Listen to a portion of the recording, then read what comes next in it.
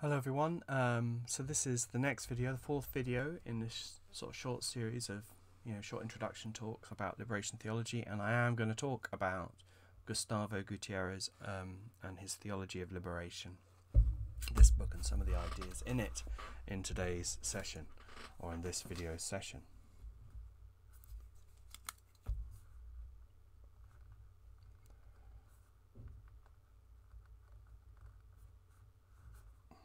Okay.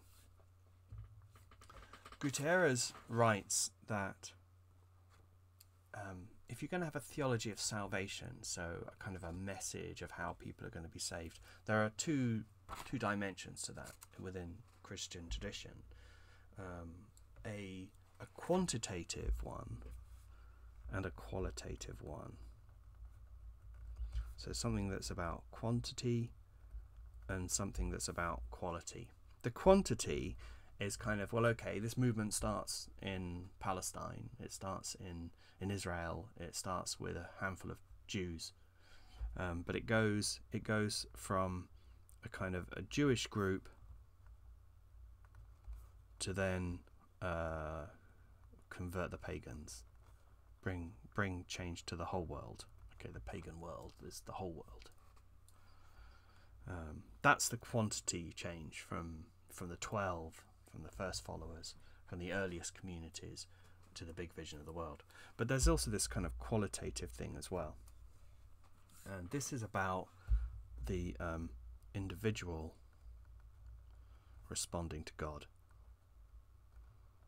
So this is about you personally turning away from yourself and from sin. So responding to God means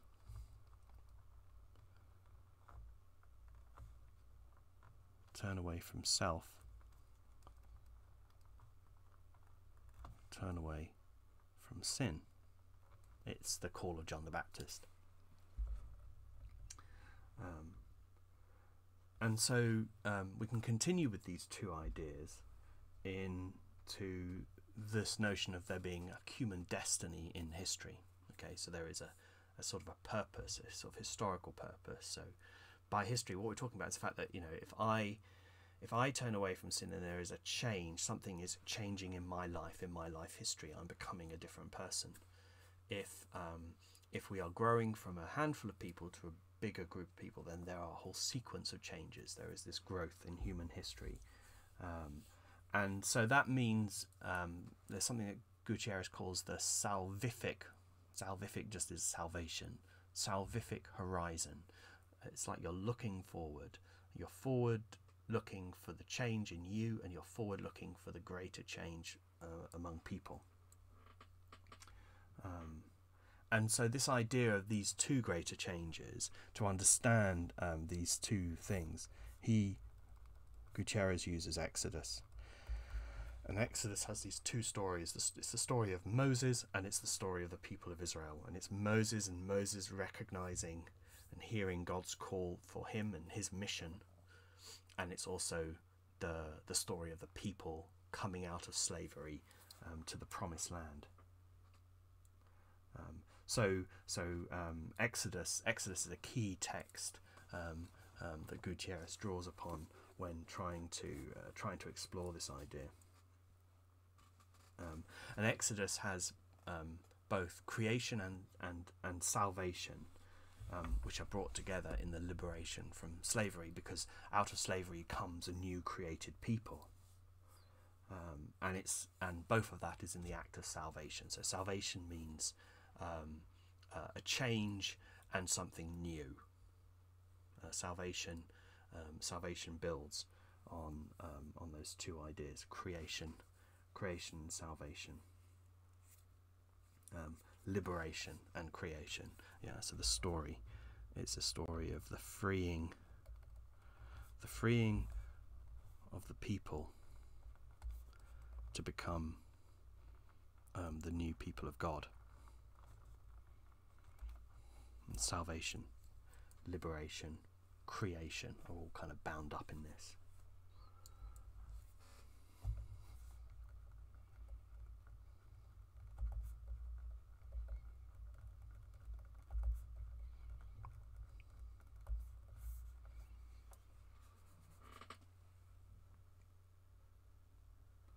So so creation is not just a beginning. It's not just about the beginning. It's not just like the Genesis story at the beginning. Creation is actually also a future objective to the creation of the new. Okay, so we've got creation. Creation can be thought of as a beginning, as a start point, but that's not. But Gutierrez doesn't see it like that. Creation is what you're aiming for. Um, um, and of course, in the story of Exodus, we've also got this other key idea, which is covenant. This is the, this is um, this is also part of this, which is um, all about land. It's all about rejecting the um, despoliation of land. It's all about the rejecting of injustice and the rejecting of hatred. So, um, in this new kingdom, so the new kingdom requires the rejection of all of those other things, and that's part of covenant. Okay. Um, and what this means, and Exodus again is the illustrator, that you need God and you need man or human hu- humankind. Um, you need both God and man to build your um, new society. That's the sum that's going on. It's a it's a combined approach.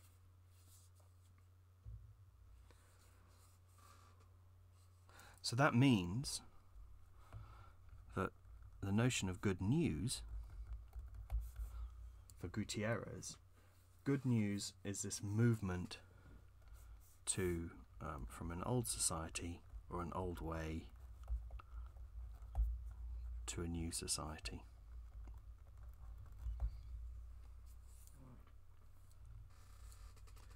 It's um, there's this idea of promise as a gift um, that you accept in faith, you take in on trust, like Moses, trusting in in in what God asks him to do. Um, fulfilled in Christ as the sacrifice for all, and illuminating or pointing to a future. So this is uh, maybe coming of the kingdom. This is maybe what coming of the kingdom is about. But the kingdom that comes, the new society, um, the coming um, of the kingdom, is not some sort of vague spiritual thing. This is concrete we see this in government, in the change in government, in the change in society around us. It is a, a revolution. Um, we see it in in history, just as just as the people moved from being ruled by Pharaoh to um, the, the the people of Israel, the their own people. This is something that, that we can we can see in, in historical change. Um, so you could call this a kind of eschatological dimension. It's about a salvation. It's about a future salvation that is achieved in history, in time, and in place. Um, and uh, and it comes about because of the cooperation between God and and humanity. Um, um, and this this is this is because God is a God um, who acts in history God does not. God is not. Um, God is not a God who who sets apart from history. It's a God who is um, who participates, um, who interrupts, um, who who who initiates change.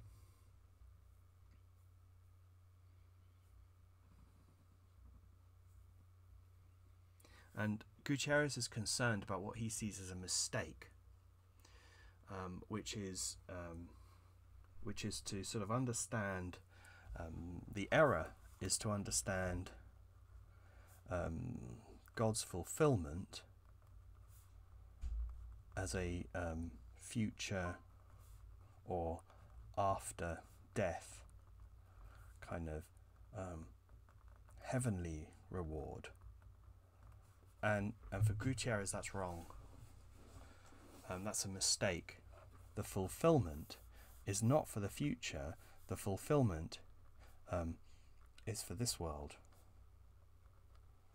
Um, for now. Um, uh, seen in history. That's that's what God's fulfillment is for Gutierrez. Um, It's a it's a it's a it's Exodus now. Not um, Exodus in a spiritual realm.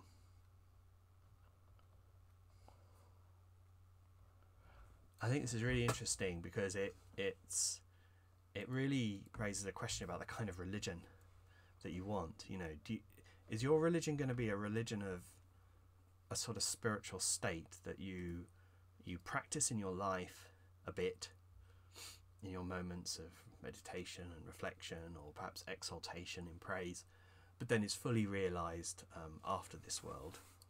Is that your religion? Or is your religion a religion of change now? Is it a religion of encounter in this world um, um, you've got these two different paths. There's, there's two different ways of thinking about transformation and change.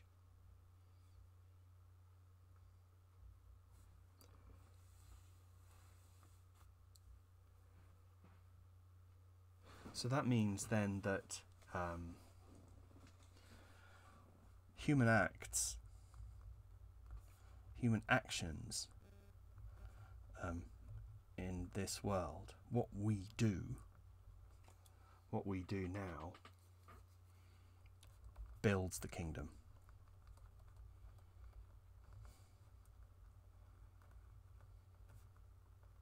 In this world.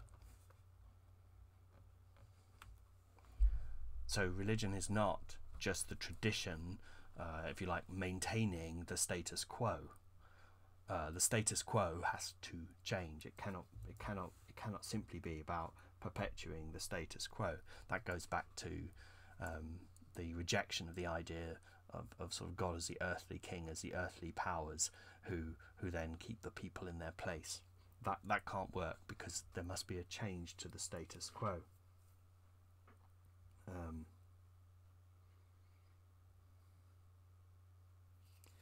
so if you live in the, so Christians or people um, in poor countries, their their journey of faith and of salvation must begin with a rejection of the structures of injustice.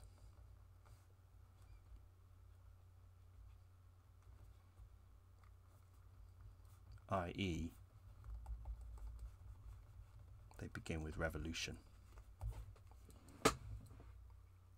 and that's disruptive. Religion is no longer on the in the in in uh, allied with those in power and those who maintain the structures and orderliness of society. Religion in in this liberation theology vision is a disruptive element. It is going to lead to a turning over of tables. Um, um, um, it's going to lead to something different, something new. Um, it is about class struggle. Gutierrez draws on Marx's ideas of a struggle between um, those who have not and those who have. Um, this is a this is a um, um whenever you have whenever you have a kind of oppressive um, or um, exploitative um, uh, structures uh, in society.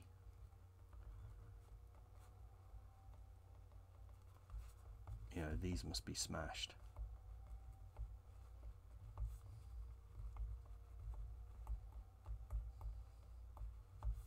And of course, that raises a question by what means? By what means? Moses broke it's like a breakout of uh, Pharaoh that in, in, that story of um, of Exodus. It's a breakout. Pharaoh didn't like agree at the end anyway. He he wanted to stop it. There's violence in that story.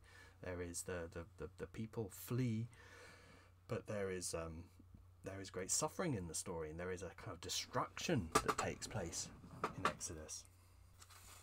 Um, it's a um, it's not a it's not a calm it's not a calm spiritual idea of change. No, it is a it is a kind of violent change. It is a sort of urgent change. S- uh, structures must be undone. Uh, they must be they must be taken apart. Um, so what this means is then for if the kingdom if the kingdom is going to come, if if salvation is going to be complete, then the liberation of people throughout history must happen. This is um, this is a historical liberation from injustice as well as a personal liberation from sin. Um, both of these things. Uh, this is the this is the total salvation. Um, so I guess we might say that you know um, the liberation um, theological vision of um, total salvation is um, a historical liberation from oppression.